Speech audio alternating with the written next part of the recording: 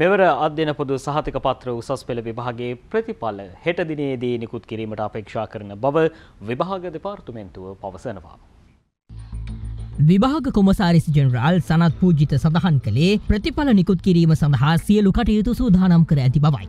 නිදහස් දහනමය අධ්‍යන පුද සහතික පත්‍ර උසස් පෙළ විභාගය පසුගේ අගෝස්තු මස අටවනදා සිට ආරම්භ වූ අතර මෙවර විභාගේ සඳහා අපේක්ෂකයෙන් තුන් ලක්ෂති සදහස් හත්සිය හතර දෙනෙකු පෙනී සිටිය. එහිදී නව විෂය නිර්දේශය යටතේ අපේක්ෂකයෙන් එක් ලක්ෂ අනු අටදහස් දෙසිය විසි නමයක් සහ පැරණි විෂය නිර්දේශය යටතේ අපේක්ෂකයෙන් එක් ලක්ෂතිස් නවදහස් හාරසිය හැත්තෑ පස් දෙනෙකු දෙනෙකු පෙනී සිට ඇති බව විභාග දෙපර්තමේන්තුව සඳහන් කරනවා.